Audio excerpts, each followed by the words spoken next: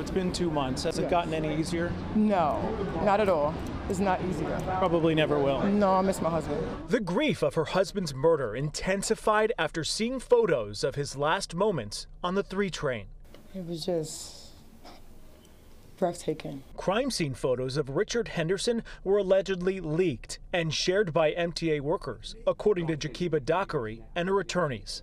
The MTA is liable for the act of its employees. So they're planning to sue the MTA for over $28 million. The person who was uh, an MTA employee should have done something about getting him medical care. Dockery is speaking out for the first time since the January subway shooting because she's looking for justice from the shooter who's not been caught and from anyone who may have caused Henderson's family and children more pain. They should not have seen their father the last time, laying in his own blood. The victim's family is following Vanessa Bryant's lead. She won the same damages in Los Angeles following Kobe's death and the leaked photos that followed.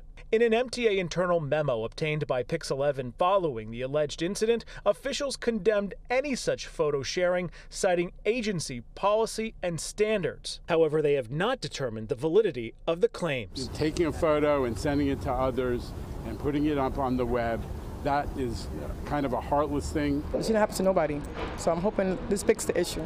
California has since passed a law making it illegal for officials to share crime scene photos in a public forum.